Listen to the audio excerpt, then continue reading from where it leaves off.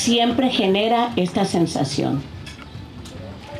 Bahía de Quino es una localidad que nos fortalece como municipio al ser nuestra bella zona costera.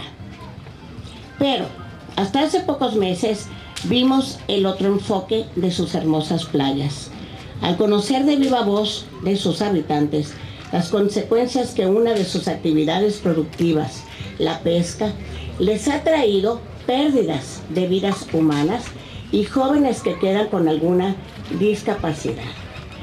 Es el resultado del fenómeno de descompresión que experimentan nuestros buzos pescadores y que se puede revertir solo con la cámara hiperbárica. Pero se puede prevenir con capacitación continua. Y la comunidad me estuvo expresando este anhelo por muchos años expresado y que ahora le estuvimos dando la respuesta. Estamos aquí para ser testigos de una palabra cumplida. Todo este año hemos estado trabajando para el tema de la cámara hiperbárica, porque una cámara hiperbárica para que sea para la descompresión de este, de esto que es lo que nos trae aquí, se necesita que sea muy especial. Tan especial que se necesitaron cuatro grúas porque el peso que tiene esta máquina no le atinábamos hasta la cuarta, porque pesa una tonelada y media.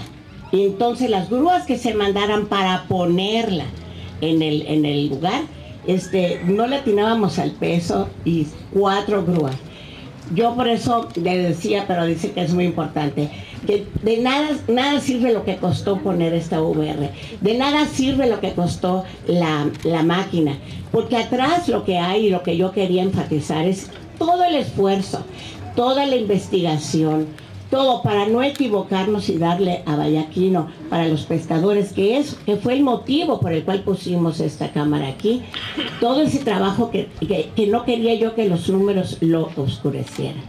Porque no se puede medir el interés, el amor, el cariño, los viajes, el desvelo, la mortificación para dar lo que aquí se necesitaba. Al decir cámara hiperbárica, uno piensa que es, pues no sé, como de esas cámaras para, ponernos morenitas y bonitas.